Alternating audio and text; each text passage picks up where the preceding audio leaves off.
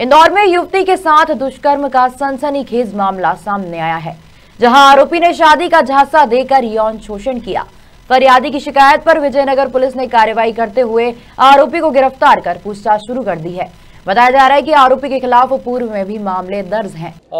एक फरियादी आई थी, उनके द्वारा परसों एक शिकायत की गई थी। उस शिकायत में उनके द्वारा बताया गया था कि एक आरोपी इरफान पंचर है, जो उसके साथ लगातार शादी का झांसा दे के उसके साथ गलत काम करता रहा। तो उसकी शिकायत पर हमारे द्वारा तीन सौ छिहत्तर, पाँच सौ छः का प्रकरण पंजीबद्ध किया गया था। उस प्रकरण को पंजीबद्ध होने के बाद कुछ इन्वेस्टिगेशन में कुछ तथ्य आए थे और आरोपी को हमारे द्वारा इरफान और पंचर को गिरफ़्तार कर लिया है। आरोपी पर पूर्व में भी कई अपराध पंजीबद्ध हैं और लगातार उसकी शिकायतें आ रही थी। आरोपी को गिरफ़्तार कर लिया गया। कल उसको जीआर पे पेश किया जाए किया जाएगा।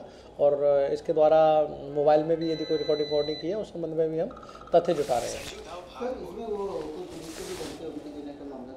नहीं, ऐसा लड़की का कहना था, लेकिन इस संबंध में अभी हम लोग फैक्ट इकट्ठा कर रहे हैं। यदि ऐसा कुछ होगा तो उसमें जो भी संबंधित धारा होगी, उसके तहत कार्रवाई की जाएगी।